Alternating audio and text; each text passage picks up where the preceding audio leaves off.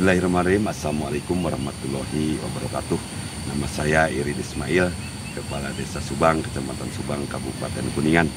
E, Mengucapkan e, Minal aizin wal faizin Mohon maaf lahir dan batin Untuk pertama kepada keluarga-keluarga e, Masyarakat Desa Subang Yang ada di perantauan.